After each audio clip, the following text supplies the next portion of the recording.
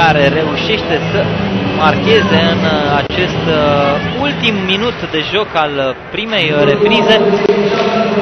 Un moment psihologic poate fi în această partidă